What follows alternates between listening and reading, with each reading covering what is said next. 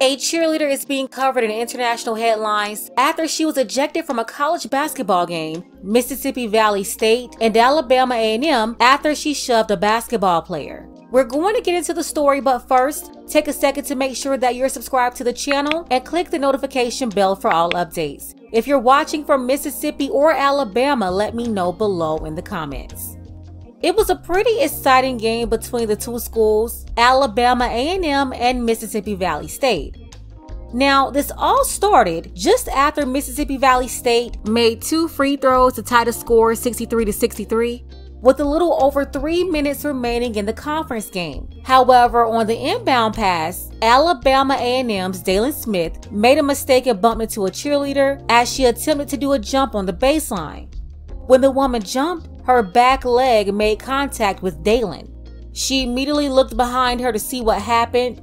Dalen and the rest of the players continued on with the game, but then they stopped after the referee blew the whistle. The cheerleader took the opportunity to walk on the court and confront the player. She shoved him and said something to him like you ran into me and she wanted him to acknowledge her. The commentators calling the game, they started talking about the incident while a woman in the background can be heard yelling for security. Alabama A&M's coach started going off. He was pretty much like y'all didn't see that girl come over here and put her hands on my player. He couldn't believe that she was allowed to walk on the court and shove him, basically starting a confrontation the coach kept going off to get security to do something. That's when seven members of the security staff made their way across the court towards the Mississippi Valley State cheerleader section. One of the security guards wrapped his arm around her shoulder and appeared to tell her that she needed to leave before she turned to the bench to grab her jacket.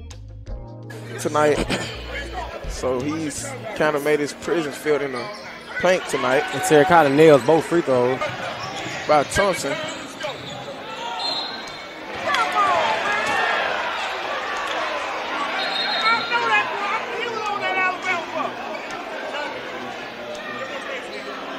And um, the Alabama A&M coach, he's he's fussing, he's fussing and cussing. Yeah, and coach is coach is kind of losing it over here, as he feel like. Um, and they're calling security, not sure what's going on. And they're going to put one of the cheerleaders out of the game, it seems.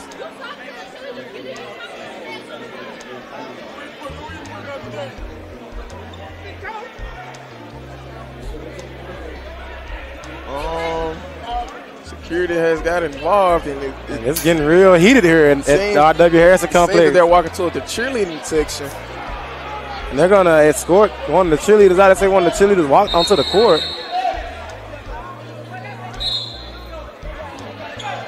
And they're going to say she has to go.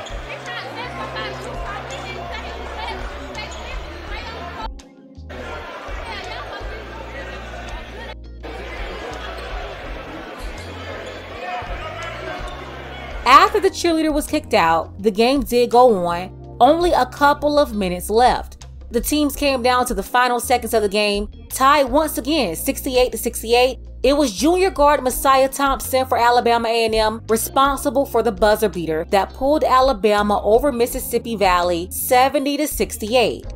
Five, four, three, two,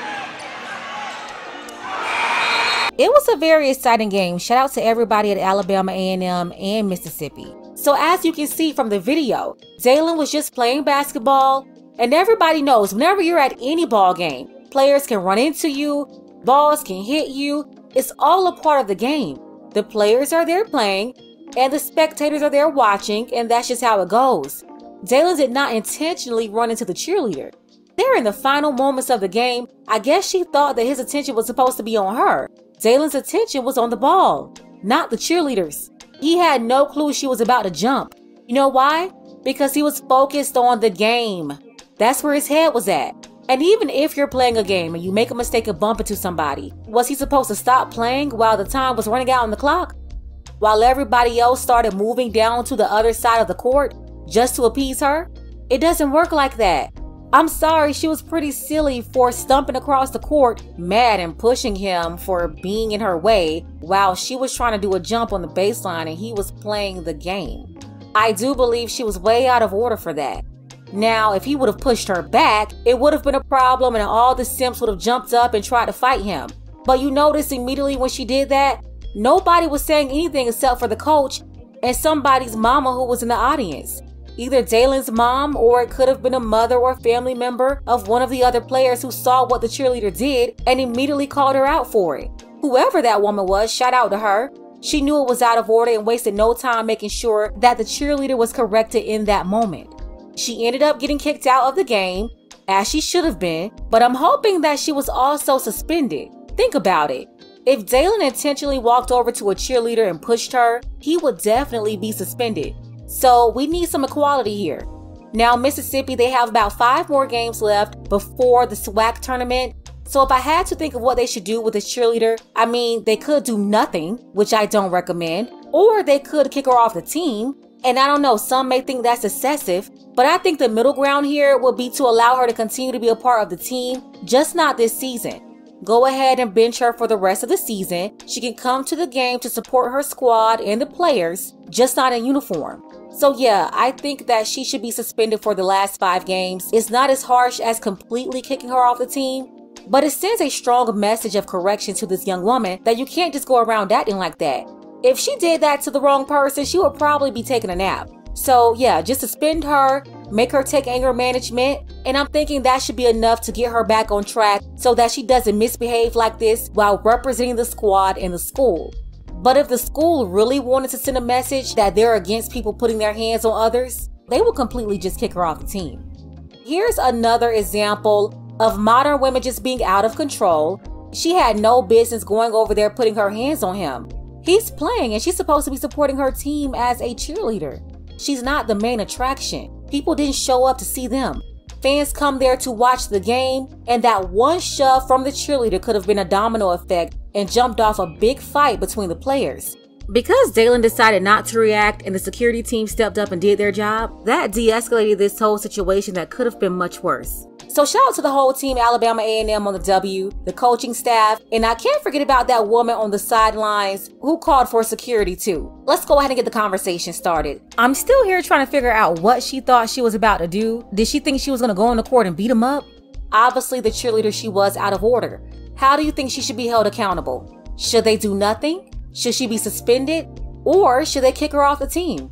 Special thank you to Tommy H. I appreciate you, Tommy, for all of your support as well as our sister Aisha Kiba. Also, I can't forget about Brian for sending this story in. I appreciate you, Brian. Don't forget that you can support this channel as well. Links to Cash App and PayPal are below. Ladies, fellas, want a balanced analysis, want the truth from a woman's perspective? Then you're going to want to subscribe to this channel and don't forget to like and share.